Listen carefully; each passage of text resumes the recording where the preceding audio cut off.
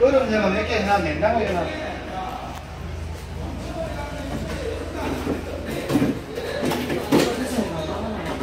그냥 요거 안 해도 이거는 몇 개는 있는데 40, 40, 내용이 몇개 들어있어 그 소이도 190m짜리 나오고 요거는 100개는 76달러